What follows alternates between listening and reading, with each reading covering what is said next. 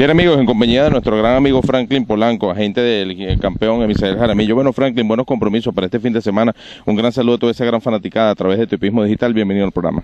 Muchas gracias, señor Armado. Díganme. Bueno, paso de luna, vamos a hablar en la tercera de este ejemplar, este compromiso importante para Emisael. Bueno, un saludo a toda la afición hípica ante todo y esperando que mi información sea muy valera a la hora de hacer su jugada. Dígame, Paso de luna en la tercera, número uno. Me lleva que la última vez no estaba en el tope de condición, estaba bastante, bastante pesada para ese compromiso, no estaba muy puesta, anda en gran forma y pues seguro va a estar haciendo la prueba. Posteriormente en la tercera carrera, este ejemplar Victoria Eva.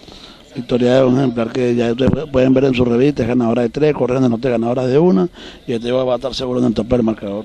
Luego en la cuarta, West número 4 del día domingo. West, un callo que lo ha hecho bastante bien, viene entre los segundos, es un callo bravo en la carrera, que es el número 1, Gran Claim. Pasando a la quinta, Franklin, tu próximo compromiso es Gran Samuel, este ejemplar que gran chance obtiene ahora con la monta de Misael Jaramillo aumenta el chance de este pupilo Oscar González. Bueno, luego de un largo tiempo de, de paro, el caballo anda en gran forma, el lote no es gran cosa, pero el caballo como anda en cancha puede estar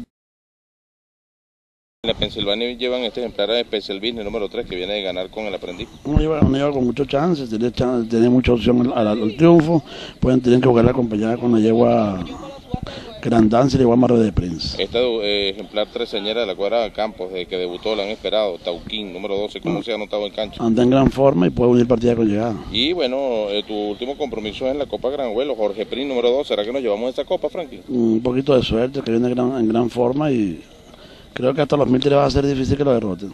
De en adelante, bueno, pero hasta los 1003 va a ser amargo derrotarlo.